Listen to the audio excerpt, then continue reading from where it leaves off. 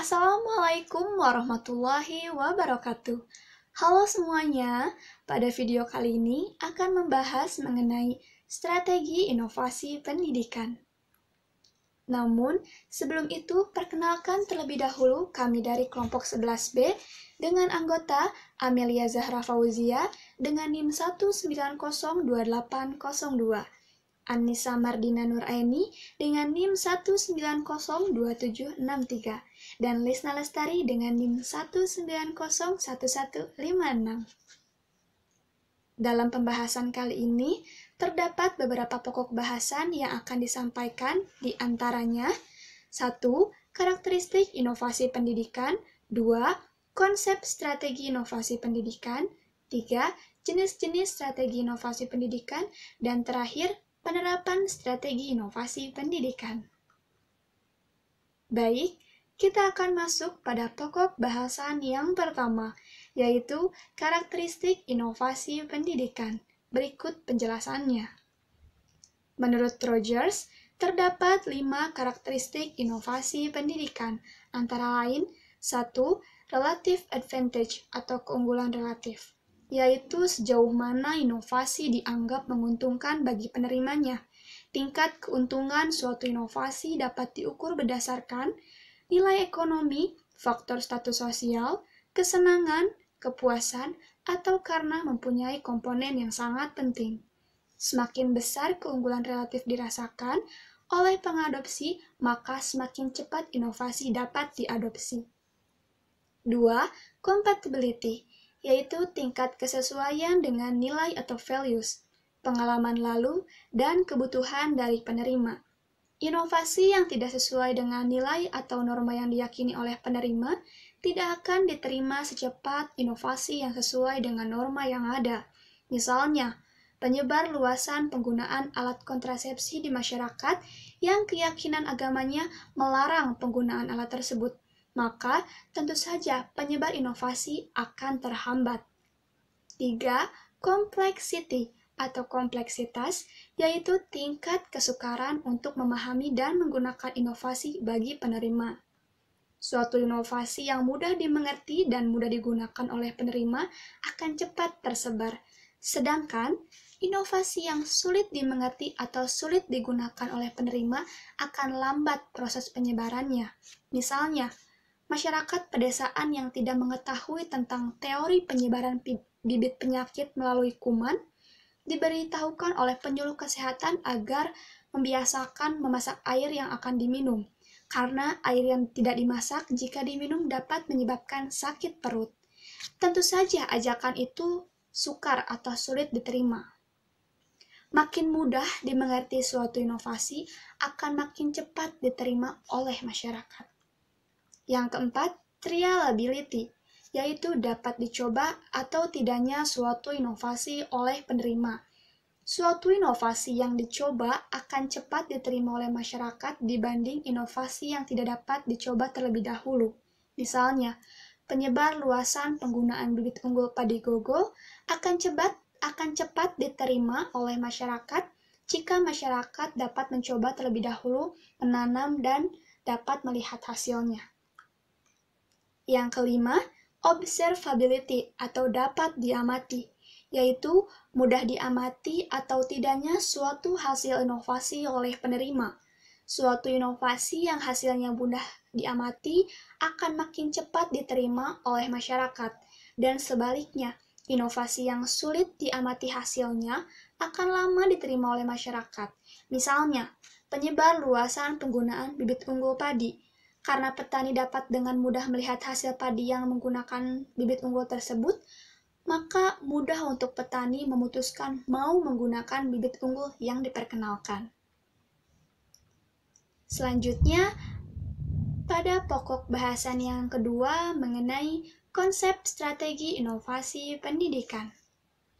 Kita mulai dari kata strategi. Strategi dapat dikatakan sebagai serangkaian rencana dan tindakan yang dibuat dengan cermat untuk mencapai suatu tujuan. Kemudian, inovasi pendidikan. Apa sih inovasi pendidikan? Inovasi pendidikan adalah suatu perubahan baru yang berbeda dari sebelumnya dan sengaja diusahakan untuk meningkatkan kemampuan guna mencapai tujuan tertentu dalam pendidikan. Maka, dapat kita simpulkan, strategi inovasi pendidikan adalah perencanaan yang berisi tentang serangkaian kegiatan yang didesain untuk mencapai tujuan tertentu dalam pendidikan. Pembahasan yang selanjutnya adalah mengenai strategi inovasi pendidikan. Menurut Saud, ada empat jenis strategi inovasi pendidikan. Strategi yang pertama adalah strategi fasilitatif. Pelaksanaan program perubahan sosial dengan menggunakan strategi fasilitatif artinya untuk mencapai tujuan perubahan sosial yang telah ditentukan diperlukan adanya penyediaan fasilitas dengan maksud agar program perubahan sosial tersebut berjalan dengan mudah dan lancar. Strategi fasilitatif ini akan tepat digunakan jika sasaran sudah mengenai masalah yang dihadapinya serta menyadari perlu adanya perubahan. Yang kedua, strategi fasilitatif ini akan tepat digunakan jika sasaran tersebut bersedia menerima bantuan dari pihak luar serta memiliki kemauan untuk berpartisipasi dalam usaha mengubah atau memperbaiki dirinya sendiri. Sebaiknya, strategi fasilitatif ini dilaksanakan dengan disertai program yang menimbulkan kesadaran pada sasaran atas tersedianya fasilitas atau tenaga bantuan yang telah disediakan. Strategi yang kedua adalah strategi pendidikan. Pendidikan dipandang sebagai strategi untuk mencapai tujuan perubahan sosial. Menggunakan strategi pendidikan artinya mengadakan perubahan sosial dengan cara menyampaikan fakta dengan maksud orang yang menggunakan fakta atau informasi tersebut akan menentukan tindakan yang akan dilakukannya di kemudian. Dengan dasar pemikiran bahwa manusia akan mampu untuk membedakan fakta serta memilihnya guna mengatur tingkah lakunya apabila fakta itu ditunjukkan kepadanya. Strategi pendidikan ini akan tepat digunakan apabila perubahan sosial yang diinginkan tidak harus terjadi dalam waktu yang singkat atau tidak harus cepat-cepat berubah. Kemudian, strategi pendidikan ini juga akan tepat apabila sasaran perubahan belum memiliki keterampilan atau pengetahuan tertentu yang diperlukan untuk melaksanakan program perubahan sosial. Dalam strategi pendidikan, perlu ditanamkan prinsip-prinsip yang perlu dikuasai untuk digunakan sebagai dasar tindakan selanjutnya sesuai dengan tujuan perubahan sosial yang akan dicapai, serta perlu juga disertai dengan keterlibatan berbagai pihak, misalnya dengan adanya sumbangan dana, donatur, serta berbagai penunjang lainnya. Yang ketiga adalah strategi bujukan. Program perubahan sosial dengan menggunakan strategi bujukan artinya untuk mencapai tujuan perubahan sosial dilakukan dengan cara membujuk agar sasaran mau mengikuti perubahan sosial yang telah direncanakan. Sasaran perubahan diajak untuk mengikuti perubahan dengan cara memberikan alasan, mendorong, atau mengajak untuk mengikuti contoh yang telah diberikan. Strategi bujukan ini akan tepat digunakan jika tidak adanya partisipasi sasaran dalam proses perubahan sosial dan juga apabila perubahan tersebut tidak dapat dicobakan, sukar dimengerti, dan tidak dapat diamati kemanfaatannya secara langsung. Strategi yang keempat adalah strategi paksaan. Pelaksanaan program perubahan sosial dengan menggunakan strategi paksaan artinya dengan cara memaksa sasaran untuk mencapai tujuan perubahan yang telah ditentukan. Hal yang dipaksa merupakan bentuk dari hasil yang diharapkan. Kemampuan untuk melaksanakan paksaan tergantung dari hubungan kontrol antara pelaksana perubahan dengan sasaran perubahan. Strategi paksaan ini akan tepat digunakan jika Partisipasi klien terhadap proses perubahan sosial sangat rendah dan tidak mau meningkatkan partisipasinya. Strategi paksaan juga tepat digunakan apabila klien tidak merasa perlu untuk berubah dan tidak menyadari perlunya sebuah perubahan sosial. Kemudian, strategi paksaan ini juga akan tepat digunakan jika perubahan sosial yang diharapkan harus terwujud dalam waktu yang singkat. Selain keempat strategi inovasi yang telah disebutkan sebelumnya, Kennedy juga menjelaskan tiga jenis strategi inovasi menurut pendapatnya. Strategi yang pertama adalah strategi pemaksaan. Sama halnya dengan strategi pemaksaan yang telah disebutkan sebelumnya, strategi ini juga cenderung memaksakan kehendak, ide, dan pikiran sepihak tanpa menghiraukan kondisi, keadaan, serta situasi di mana inovasi tersebut akan dilaksanakan. Kekuasaan memegang peranan yang sangat kuat dalam menerapkan ide-ide baru dan perubahan yang sesuai dengan kehendak dan pemikiran pencipta inovasi. Yang kedua adalah strategi empiris rasional. Asumsi dasar dalam strategi ini adalah manusia mampu memakai akalnya dan akan bertindak dengan cara-cara yang rasional. Oleh karena itu, tugas inovator yang utama adalah mendemonstrasikan pembaharuan tertentu melalui metode terbaik yang valid dalam rangka memberi tambahan manfaat bagi penggunanya. Di samping itu, strategi ini juga didasarkan atas pandangan yang optimis, yang sesuai dengan akal sehat, serta berkaitan dengan situasi dan kondisi yang terjadi. Strategi yang terakhir adalah strategi normatif reedukatif. Strategi normatif reedukatif adalah strategi inovasi yang didasarkan pada pemikiran ahli pendidikan seperti Sigmund Freud, John Dewey, Kurt Lewin, dan lainnya yang menekankan pada cara sasaran memahami permasalahan suatu pembaharuan. Dalam pendidikan, sebuah strategi yang menekankan pada pemahaman pelaksana dan penerima inovasi dapat dilakukan berulang kali. Misalnya, dalam melaksanakan perbaikan sistem pembelajaran di sekolah, guru sebagai pelaksana inovasi akan terus-menerus melaksanakan perubahan sesuai dengan kaidah-kaidah pendidikan. Kecenderungan pelaksanaan model demikian lebih menekankan pada proses mendidik dibandingkan dengan hasil perubahan. Pendidikan yang dilaksanakan lebih mendapat porsi dominan sesuai dengan tujuan menurut pikiran rasionalitas yang dilakukan berulang-ulang agar semua tujuan yang sesuai dengan pikiran dan kehendak mencipta serta pelaksananya dapat tercapai. Pembahasan yang selanjutnya yakni penerapan strategi inovasi pendidikan. Rusdiana menjelaskan ada sembilan langkah dalam menerapkan inovasi pendidikan. Yang pertama, membuat rumusan inovasi. Membuat rumusan yang jelas tentang inovasi yang akan diterapkan. Misalnya, apa yang diperlukan sehingga diperlukan adanya perubahan, dan adakah hal-hal lain yang ikut menunjang penerapan inovasi? Untuk mempermudah perumusan tentang kebutuhan dan inovasi, maka hendaknya membuat daftar pertanyaan yang dapat dijadikan sebagai acuan. Yang kedua, penggunaan metode. Terdapat beberapa metode atau cara yang memberi kesempatan untuk berpartisipasi secara aktif dalam usaha mengubah pribadi ataupun sekolah. Berikut ini cara yang dapat dilakukan oleh guru dan kepala sekolah dalam mengadakan atau menerapkan inovasi. Yang pertama, Tujuan diadakannya inovasi perlu dimengerti dan diterima oleh guru, siswa, orang tua siswa, dan masyarakat. Harus dikemukakan dengan jelas alasan adanya inovasi.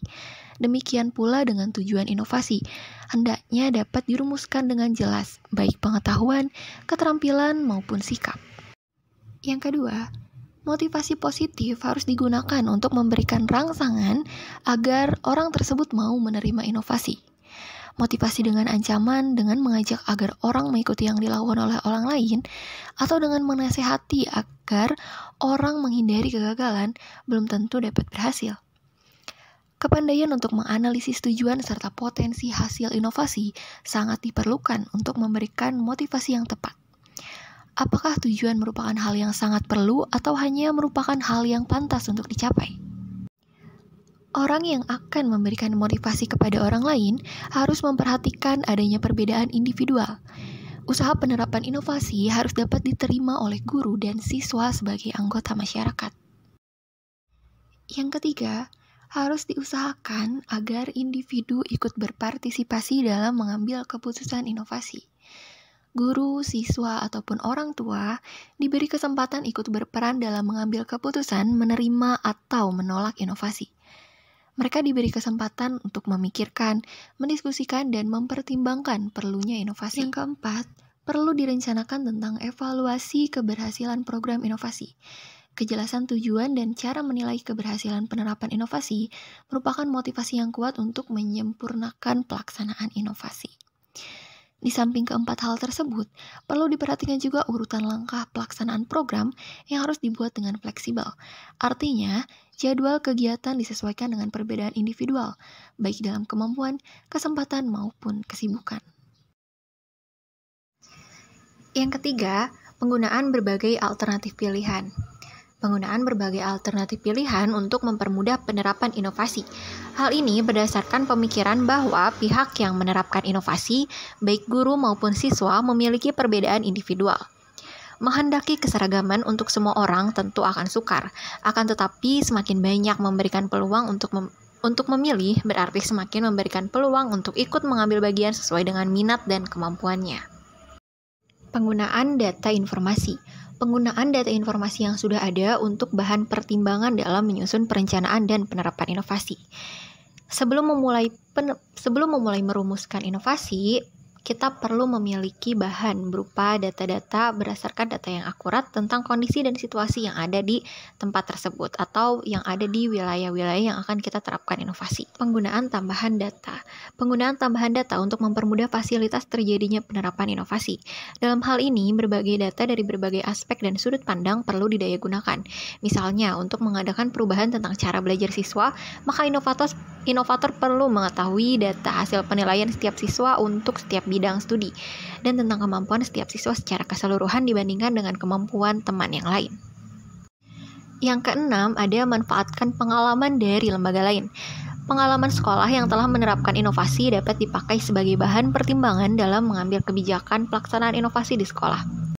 Yang ketujuh, bertindak secara positif untuk mendapatkan kepercayaan. Dunia pendidikan menghadapi tantangan globalisasi dan perubahan zaman. Untuk itu, maka pimpinan lembaga pendidikan haruslah mengetahui dan melakukan berbagai antisipasi. Di antaranya yang dapat dilakukan adalah kepala sekolah harus memahami tindakan yang perlu dilakukan untuk perbaikan sekolahnya. Kepala sekolah harus menghayati keada kenyataan bahwa inovasi perlu diadakan untuk perbaikan. Kepala sekolah juga harus yakin bahwa sekolah ini tepat untuk menerapkan inovasi, dan kepala sekolah harus banyak mencurahkan waktu dan tenaganya, baik untuk kegiatan sekolah, luar sekolah, maupun masyarakat yang memerlukan tenaganya guna menjalan, guna menjalin hubungan yang akrab dengan segala pihak. Yang selanjutnya, menciptakan kepemimpinan yang efektif. Problem yang dihadapi kepala sekolah dalam menjalankan institusi pendidikan sangatlah kompleks. Perlunya kepemimpinan yang mantap, konsisten dan efektif saat ini sangat terasa karena kepala sekolah selalu dihadapkan pada berbagai macam hambatan dan tantangan. Baik dari pemerintah berupa instruksi atau peraturan-peraturan yang harus dilaksanakan, organisasi guru berupa saran perbaikan, kelompok masyarakat atau persatuan orang tua siswa berupa permintaan peningkatan kualitas hasil pendidikan di sekolah, atau mungkin juga dari berbagai yayasan pendidikan. Untuk melaksanakan program inovasi dengan efektif dalam menghadapi berbagai macam tantangan tersebut, kepala sekolah perlu menggunakan sistem pengorganisasian yang tepat. Berdasarkan pengalaman dari pelaksana model school Project Amerika Serikat, disarankan menggunakan tim manajemen pengawasan atau supervisory management. Terdapat dua elemen dasar dalam SM Team untuk meningkatkan kepemimpinan sekolah, yaitu yang pertama, peranan kepemimpinan harus disebarluaskan melalui perluasan konsep tim manajemen pengawasan. Dan yang kedua, SM Team harus menggunakan pendekatan partisipatif dalam membina hubungan dengan segenap personal sekolah ataupun dengan warga masyarakat. Yang terakhir, yakni mencari jawaban atas beberapa pertanyaan dasar tentang inovasi. Inovasi yang dilakukan di sekolah bertujuan untuk meningkatkan kualitas sekolah. Tanda-tanda sekolah yang kualitasnya baik antara lain proses pembelajarannya efektif, prestasi hasil belajar siswa tinggi, guru mempunyai waktu yang cukup banyak, serta kondisi yang baik dalam melaksanakan tugas sesuai dengan profesinya. Kepala sekolah menggunakan sebagian besar waktunya untuk bekerja lebih akrab dengan siswa dan guru, serta selalu berusaha untuk memperoleh baik perbaikan guna meningkatkan kualitas sekolah. Inovasi yang dilakukan sekolah harusnya untuk meningkatkan kualitas sekolah, tetapi sering terjadi perubahan perubahan sekolah diadakan dengan tujuan yang tidak benar, yaitu untuk membantu sekelompok orang tertentu dengan biaya atas nama sekolah. Kejadian itu harus dihindari karena sangat merugikan nama sekolah. Singkat kata, inovasi diadakan untuk kemajuan sekolah. Sekian pemaparan dari kelompok 11 kelas Penmas 4B terkait materi strategi inovasi pendidikan. Terima kasih telah menyimak. Kami tunggu diskusi dari rekan-rekan sekalian.